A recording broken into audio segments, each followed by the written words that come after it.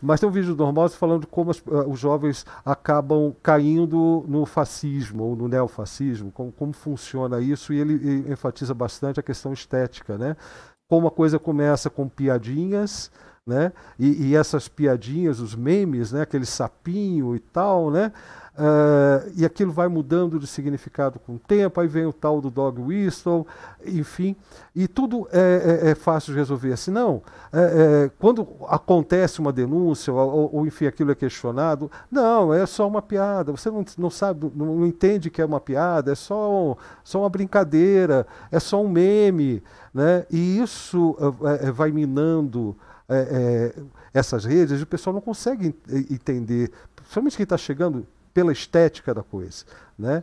Para aquela coisa de, de ser jovem e, e, é, e, e, se sentir, sentir alguma afinidade, algum afeto por aquele sentimento que está no meme e tudo mais, e não critica nem nada e não entende o quanto que isso evolui como uma bola de neve, transformando é, transformando-se em causas de desastres, como foi a nossa, a eh, nossa passagem da, da, do período mais grave da pandemia. Comentários ou perguntas, Guilherme? Entendi. Porque eu estou vendo isso, né? O pessoal não está fazendo perguntas. A, é. O pessoal mais animado não está fazendo perguntas. Está vindo com essas afirmações que você encontra em qualquer lugar. Uma oportunidade dessa. O Sérgio Amadeu é um dos, maiores, um dos principais nomes quando o assunto é internet é colonialismo de dados, é, é, é um professor, sociólogo, cientista político, trabalhou com, com, com software livre durante os últimos vinte e tantos anos no Brasil, não é isso, Sérgio?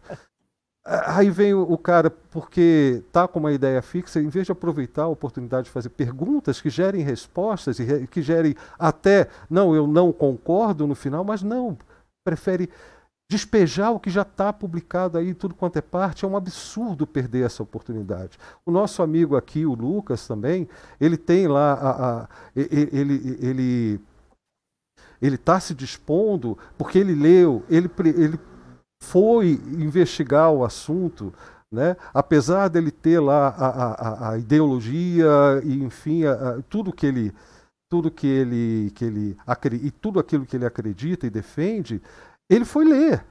Porque é isso que se espera de qualquer pessoa racional. Vai ler. Depois você compara se aquele seu ídolo, né, aquele seu político é, é, preferido, se aquele seu influencer digital, olha aí outra né, coisa que, que, que, as big techs não controlam, o, influencer digital disse, é, para ver se você concorda com ele. Por que, que você tem que concordar com tudo? Você não tem que concordar nem com a gente. A gente aqui não cobra de você que você é, é, concorde com nada do que está sendo dito. Agora, no que está textualmente dito e nas explicações que são dadas, a liberdade sua, que você deveria estar exercendo agora, é exatamente essa. Questione, pergunte, em vez de ficar afirmando o que você já sabe. O que você já sabe, não. O que você acha que sabe, porque outra pessoa disse. É aquele cara que lê título de, manchete, de manchete né? É, como é que é o nome? É manchete, né? Lê manchete, não lê o artigo, lê, lê a, a, orelha do livro, se já, já se acha especialista no assunto. Pera lá. Ninguém aqui vai ficar cultuando autoridade, mas a, a, algumas das pessoas que pararam para pensar sobre o assunto estão aqui à disposição para tirar sua dúvida. É só isso que a gente está se propondo a fazer. E é absurdo como se perde oportunidade nessa vida. É triste isso, é triste.